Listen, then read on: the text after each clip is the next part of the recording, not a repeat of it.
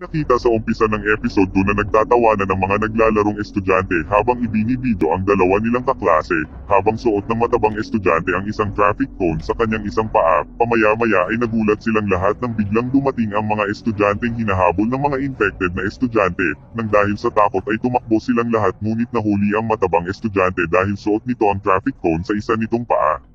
At sa principal's office ay nagkaroon ng emergency meeting ang lahat ng mga teacher dahil kumakalat na ang impeksyon sa buong eskwelahan, ngunit itinatago ng principal ang totoong sitwasyon at sinabi nito sa tumawag na magulang na maayos ang lahat doon, nagalit si Miss Park at sinabi nito sa principal na paano mo nasabing okay ang lahat, kailangan natin ng emergency services para mailabas ang mga bata, ngunit hindi sumang-ayon ang principal sa kanya kaya't pinalabas silang lahat ng principal upang pabalikin ang mga estudyante sa kanilang mga klase, kaya't nag-walk out si Miss Park upang i-announce sa ibang mga estudyante kung ano talaga ang nangyayari. Sa pag-akyat ni Miss Park sa hagdan ay inatake siya ng matabang estudyante na naging zombie kaya't agad itong umakyat upang makatakas. Ipinakita naman sa school canteen na nag-apoy ang kusina dahil sa pag-atake ng isang zombie sa isang estudyante, habang inililigtas ni Chong San si Onjo mula sa isang estudyanteng infected, ilang sandali ay bumukas ang mga fire sprinkle sa buong canteen. Makikita namang inatake ng zombie ang bullying estudyante na si Guinam at takot na takot ito, kaya't pinagsasaksak niya ng tinidor ang leeg nito upang makaligtas, tumuntong si Chong San at Onjo sa lamesa upang makadaan sila sa bintana, ngunit inatake ng zombie si Chong San kaya't dagli niyang sinipa ito.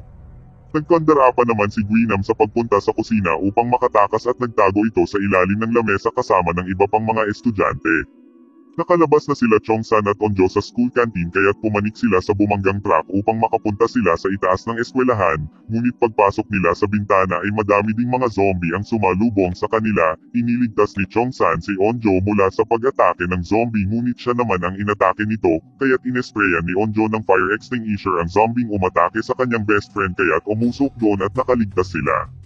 At sa labas ay tumatakbo si Suyok at Namra upang makatakas sa mga zombie, nakita nila ang isang hagdan na nakalagay sa tapat ng bintana.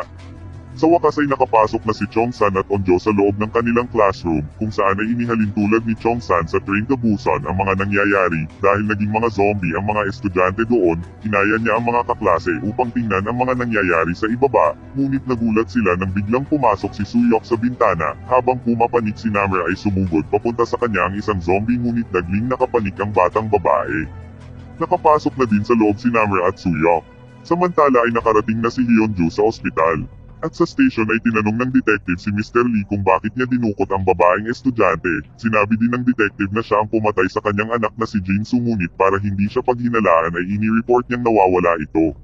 Tinanong siya ng detective kung ano talaga ang nangyari kay Jinsu at ipinakita ang katotohanan sa kanyang vlog at sinabi nitong namatay ang kanyang anak habang inihahantulad ang isang pusa at daga sa bullying na sinapit ni Jinsu nang dahil sa sobrang takot ng daga ay inaatake nito ang pusa at ito ay dahil sa biglang pagtaas ng testosterone, ibig sabihin na in-extract niya ang hormone at ginamit niya ito bilang paraan upang makalikha ng isang galit na virus, bagamat nagsusumikap pa rin siya para ma-perfect ang serum, ibig sabihin na naging catalyst si Hyunju sa lahat ng nangyayari dahil sa pagkakagat ng hamster sa kanya.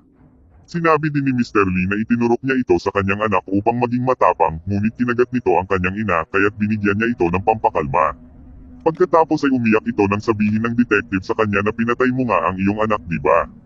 Okay pero sa totoo lang nakakawa ang pag-iyak ng isang ama sa eksenang ito dahil nararamdaman natin ang damdamin niya bilang isang ama sa kanyang anak dahil naging biktima lang silang pareho ng bullying, ayaw niyang nakikitang sinasaktan at kinakawawa ang kanyang pinakamamahal na anak kaya't naisipan niyang gawin ang inaakalang niyang makakabuti para kay Jinsu, ngunit napakalaki ng epekto at torture ng bullying hindi lang sa isang tao, ngunit nang dahil sa pambubuli ay nakalikha ng isang virus at maraming estudyante ang naapektuhan sa movie na ito, kaya't ipinapaisip sa atin ng movie na magkaroon tayo ng pagmamalasakit at respeto sa damdamin ng iba dahil sa pagmamalupit at pagmamaliit natin sa ating kapwa ay maaaring bumalik sa atin ito bilang isang karma.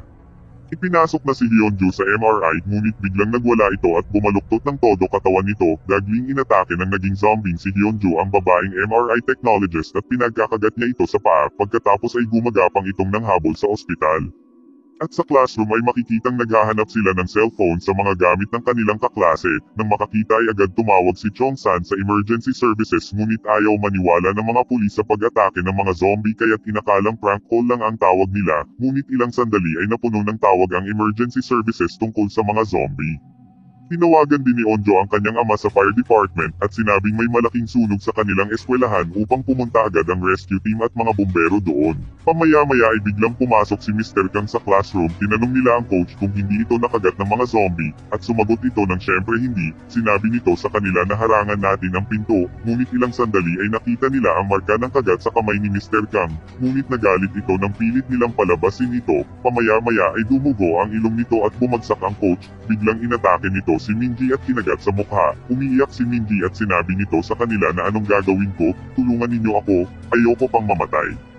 Nakakabagbag ng damdamin ang kanyang pagsasabi sa mga kasamahan na ayaw pa niyang mamatay, na kahit anong gawin mo ay wala kang laban sa virus na ito. Naging zombie na si Minji at Mr. Kang kaya't lumabas na silang lahat sa classroom at sa labas ay nakasalubong nila ang mga zombie. Inatake sila ng mga ito kaya't hinarangan nila ito ng pinto at itinulak upang makaligtas. Sinira ni Onjo ang lock ng pinto upang makapasok sila sa isang kwarto. Sa kasamaang palad ay nalaglag ang cellphone ni Onjo sa labas. Nang mapansin ni Onjo na wala si Suyok ay hinanap niya ito kay Chongsan ngunit sinabi ng best friend niya na hindi nito alam. Nagawang makapasok ni Miss Park sa broadcasting room at inannounce niya sa mga teacher at estudyante na may nangyayaring kakaiba sa buong eskwelahan, hinimok niya ang mga ito na humanap ng isang ligtas na lugar, tumawag sa police at fire department, at kung magagawa ay umalis na sa eskwelahan. Naiyak ito at sinabing, alam kong maayos kayong lahat at hindi kayo nasaktan diba? Naiyak ang mga estudyante nang marinig nilang nag-sorry si Miss Park sa kanila dahil wala itong magawang tulong at sinabing manatili tayong bahay at magkikita-kita tayong muli. Mapapansin ding nagtago sa ilalim ng lamesa ang principal habang kumakain ng chocolate. Hindi lang sa eskwelahan kumalat ang impeksyon dahil sa pag-atake ni Hyunju sa mga nasa ospital ay naghati-hati ang mga pulis at bumbero sa iba't ibang lugar upang makahanap ng solusyon.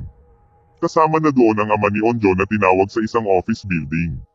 Samantala ay lumapit si Isak kay Chongsan at sinabi nito na i-comfort mo si Onjo, di ba umamin siya sa'yo tungkol kay Suyok, sumagot ito at sinabing ano naman sa akin kung sino ang nagustuhan niya. Kaya't umalis si Isak at nagpunta sa kanyang best friend na si Onjo at dito ay sinabi ni Isak na wag siyang masyadong mag-alala dahil okay lang si Suyok, hinawakan nito ang kamay ng kanyang best friend at sinabing sa palagay ko ay may gusto si Chongsan sa'yo.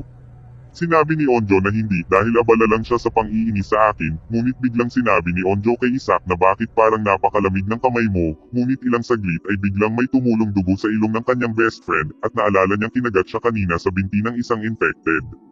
Itinanggi nito kay Onjo na nakagat nga siya pamaya-maya ay namula ang mga mata nito at hindi na niya halos makita ang kanyang best friend at sinabing hindi ako katulad nila di ba Onjo.